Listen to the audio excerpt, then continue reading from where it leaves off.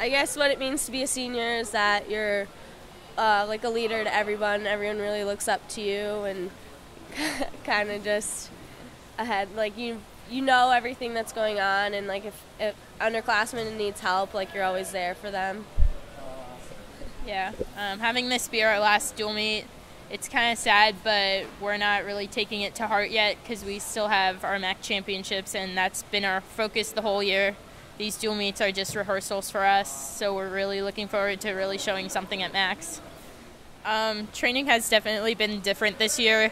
Uh, with swimming, we try to ch- change it up each year because if you do the same thing, then you're not going to get any better.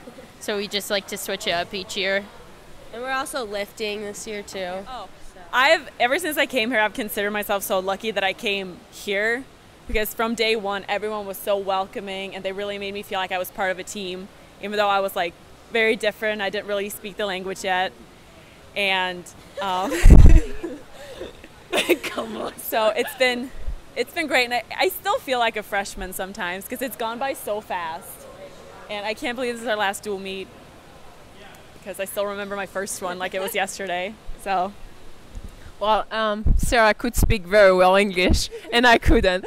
But um, yeah, and I think this uh, team is like part of family. Like everyone is like getting together. We are like a team, and we have like such a great spirit, and that's what I liked when I came because we don't have that back home. It's a club team. It's small, and here it's big. So yeah, it's more of a team sport over here. It's much more of a team sport.